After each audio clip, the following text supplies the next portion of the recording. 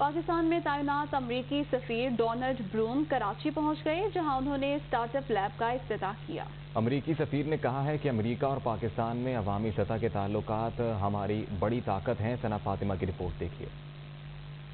पाकिस्तान में तैनात अमरीकी सफीर डोनाल्ड ब्लूम कराची पहुँचे, जहाँ उन्होंने लियाकत मेमोरियल लाइब्रेरी में कायम, लिंकन कॉर्नर का दौरा किया और स्टार्टअप लैब का अफ्ताह किया। वज़ीर सकाफत और तालीम सिंध सरदार अली शाह भी उनके हमरा थे। तकरीब से खिताब करते हुए अमरीकी सफीर का कहना था कि स्टार्टअप लैब से कारोबार का शौक रखने वाले अफराद मुफ़्त, जदीद टेक्नोलॉजी और आलात इस्तेमाल करके अपना कारोबार शुरू करने के ख्वाब को हकीकत में बदल सकते हैं। उन्होंने अमरीकी सिफारत खाने और सिंध के महकमा सकाफत की शराकत दारी को बाईस से फखर करार दिया जिसके ज़रिए यकीनी बनाया जा सकेगा कि पाकिस्तानी इक्कीसवीं सदी के चैलेंजेस का मुकाबला करने के लिए तैयार हैं। अमरीकी सफीर ने मीडिया से बात करते हुए कहा कि अमरीका और पाकिस्तान में अवामी सतह पर ताल्लुक हमारी बड़ी ताकत हैं। Uh, uh,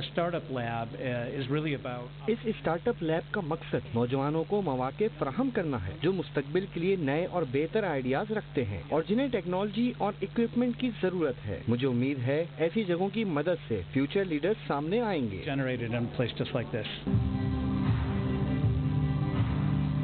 पाकिस्तान के मुख्तलिफ़ शहरों में कायम लिंकन कॉर्नर्स, मुफ़्त तालीम और सकाफती प्रोग्राम के साथ पाकिस्तान के नौजवानों को टेक्नोलॉजी और मालूम के जराए फराहम कर सकाफती प्रोग्राम्स के साथ पाकिस्तान के नौजवानों को टेक्नोलॉजी और मालूम के जराए फराहम करता है, जबकि कराची में अपनी नौयत की पहली जदीद, अमरीकी स्टार्टअप लैब। नौजवानों के लिए robotics Legos three D printer, photography setup, Windows and Mac computers और वीडियो एडिटिंग इक्विपमेंट की सहूलत